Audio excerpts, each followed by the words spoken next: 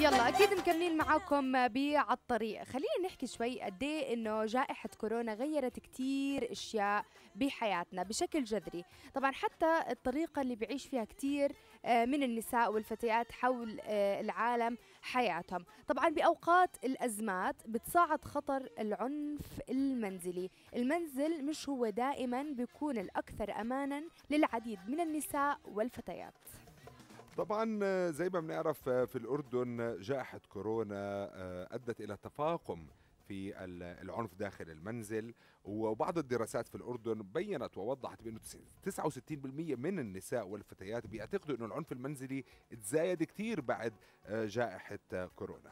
طبعا أعلنت إدارة حماية الأسرة بالأردن عن زيادة بنسبة 33% بالمكالمات لجميع أنواع حالات العنف المنزلي بما في ذلك العنف المبني على النوع الاجتماعي. طبعا دائما المساعدة والخطوط الساخنة هي متوفرة بس كثير من الناجيين ما بيعرفوا مكان الحصول على هاي المساعدة بناء على دراسة أجراها صندوق الأم- الأمم المتحدة للسكان تبين أنه 70% من آه، آه، آه، المجيبين بيعرفوا من وين يمكنهم الحصول على المساعدة ولكن بعض المواقع كانت النسبة منخفضة جدا وصلت إلى 30% عشان هيك إحنا حابين نسألكم هذا السؤال. برأيكم أنتم هل تزايدت حالات العنف المنزلي خلال فترة الحظر نتيجة لجائحة كوفيد 19 وهل بتعرفوا أنتم من وين بتقدروا تحصلوا على المساعدة؟ لو انت تعرضتي أو أي شخص لا بتعرفيه تعرض للعنف. جرب جاوبونا على 0788 95 3 95 3 ولكن إحنا لنحكي أكثر عن آه، أثر جائحة كورونا على النساء وعلى الفتيات في الأردن بالإضافة للخدمات آه، العنف المبني على النوع الاجتماعي اللي بيقدمه صندوق آه، صندوق الأمم المتحدة للسكان UNFPA. معنا على التليفون يارا الدير وهي محللة برامج العنف المبني على النوع الاجتماعي في صندوق الأمم المتحدة للسكان. مساء الخير يارا. أهلا وسهلا فيكي. أهلا مساء النور طبعا إحنا كثير أكون معكم معي وحنين و- مرة ثانية. وإحنا مبسوطين لأنه كان لنا قبل كورونا لقاء وتحدثنا فيه أكثر عن برامجكم. وتحدثنا أكثر عن آه، آه، العنف المبني آه، آه، العنف المنزلي يعني. اليوم إذا بدنا نحكي نحكي عن أثر الحظر وأثر كورونا على النساء والفتيات وعن العنف المنزلي أكثر. تمام. هلأ إحنا زي ما حكيت حضرتك يعني بنعرف إنه بتأثر ال- الجائحه على زيادة نسبة العنف المنزلي أو العنف المبني على النوع الاجتماعي وبتحد من فرصة حصول النساء والفتيات على آه، الخدمات اللي بيحتاجوها. عشان هيك إحنا كصندوق الأمم المتحدة للسكان بالتعاون مع Plan International ومعهد العناية بصحة الأسرة آه، فكرنا إنه نعمل دراسة عشان نطلع بنتائج جميل. نقدر تبين آثار هاي الجائحة. فأنا رح أحكي شوي من أهم النتائج لأنه I think إنه الناس مهم إنه تعرف طبعاً. هاي المعلومات من أهم النتائج كانت إنه آه، 78% من النساء البالغات حكوا إنه ارتفع عندهم مستوى القلق والتوتر بشأن الوباء م. 86% من النساء البالغات حكوا إنه هذا أثر عليهم سلبا وصار عندهم انعدام بالأمان الاقتصادي جميل فهاي برضه نتيجة كثير مهمة مهم. آه الشيء الثالث اللي حبينا نطلع عليه هو أثر آه الجائحة على الفتيات اليافعات. آه اللي هم أعمارهم آه صغيرة آه حكوا إنه 55% من الفتيات اليافعات حكوا إنه هم وصديقاتهم عم بيقوموا بمزيد من الأعمال المنزلية بسبب الوباء طبعا. يعني هذا أس- آه يعني آه انعكس عليهم صار عندهم مهام أكثر لازم يعملوها بالمنزل. وكمان الاعتناء بالأطفال إذا كان في أطفال أصغر بالمنزل كمان هذا صار زي عبء عليهم. يعني إحنا كمان 35% من الفتيات حكوا إنه بس 35% حكوا إنه هم ضلوا آه، قادرين على الاتصال بصديقاتهم.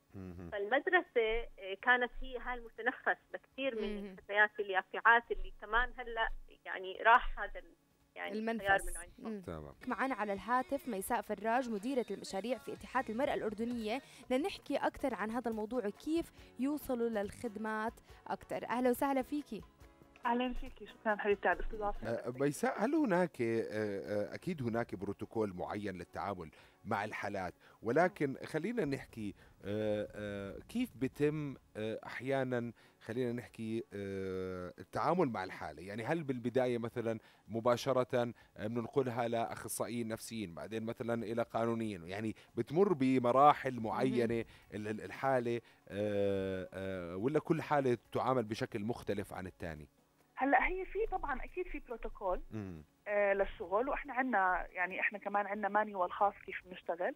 هلأ اللي بيستقبل الحالة عادة هي الأخصائية الاجتماعية وهي مم. ما يطلق عليها اسم مديرة الحالة. أها. مديرة الحالة بعدين حسب الحالة بتشوف إنه هل في داعي لوين أحولها؟ حلو. هل في داعي لاختصاصية نفسية تدخل على الخط؟ مم. ولا هل في داعي لاستشارة قانونية تدخل على الخط؟ ولا هل في داعي ل خدمة قانونية في استشارة قانونية مختلفة عن الخدمة أها. القانونية. الخدمة القانونية إذا السيدة قررت أنها تلجأ للمحاكم بتم تعمل شكاوى بدها خدمة قانونية. لخدمه قانونية. طبعا استكمالا لموضوع امبارح معانا على الهاتف لمى سعد مسؤولة برامج العنف المبني على النوع الاجتماعي في صندوق الأمم المتحدة للسكان. أهلا وسهلا فيكي. أهلا وسهلا فيكم. أهلا آه، لما أهلا أهلا. معي نحنين كيف حالكم تمام التمام الحمد لله. آه، آه، بالنسبة لتطبيق أمالي مهم. آه، نحكي عنه أكثر وممكن ندعو كل الأشخاص ل لتنزيل هذا التطبيق. آه تمام. هلأ تطبيق آمالي هو تطبيق بتنزل على التليفون آه بيكون هو بالعربي وبالإنجليزي. هلأ هذا التطبيق رح يكون آه آه بديل عن مسارات الإحالة. هو انعمل من سنتين تقريبا. بيقدر أي حدا ينزله على موبايله يعني مثلا أنا سيدة بحاجة إني أعرف وين أروح عشان آخذ خدمة متعلقة بالعنف المبني على النوع الاجتماعي بالزرقاء أو بالمفرق أو آه، بجرش بفتح هذا التطبيق بنزله على موبايلي وبفتحه وبشوف وين الخدمات المقدمة بمحافظتي.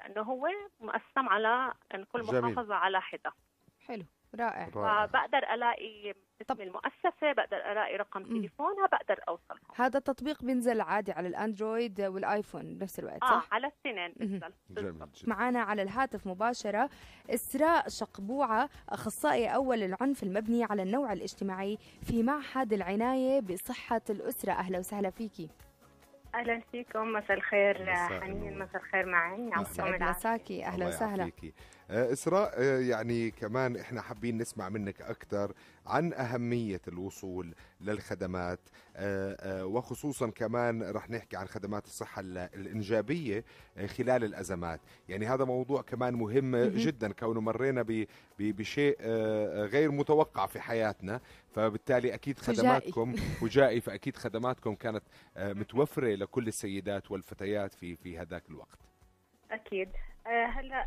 آه، معنا وحنين شكرا آه، لكم لاستضافتكم لمعهد العناية. بصحه. أهلا آه، هلا عن أهمية آه، وصول آه، السيدات والفتيات للخدمات.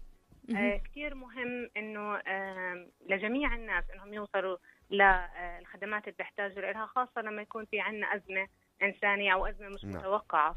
وإحنا ب- خلال الأزمة اللي مرينا فيها اللي هي جائحة كورونا شفنا أنه صار في كثير تغييرات في نظام الحياة أو الروتين اليومي صحيح. اللي بنعيشه وكمان هاي الجائحة غيرت بشكل جذري الطريقة اللي بتعيش فيها معظم النساء مهم. والفتيات مهم. والأردن كمان تأثر بهاي ال- طبعاً. الجائحة والنساء والفتيات كمان بالأردن تأثروا بهذا الشيء وصار في تغيير جذري بطريقة الحياة اللي بيعيشوها مهم. ولاحظنا إنه تصاعد خطر ال- العنف المنزلي آه، في بسبب تصاعد التوتر في نعم. البيوت فهذا الشيء خلى إنه آه، صار المنزل مكان غير آمن للعديد من السيدات والفتيات.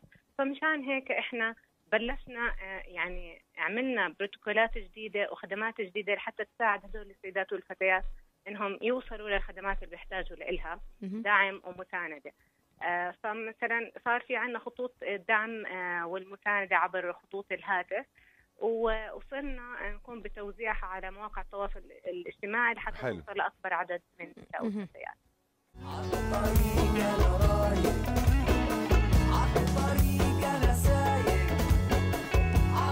عالطريق مع معن وحنين عمزاج أحلى إذاعة عالطريق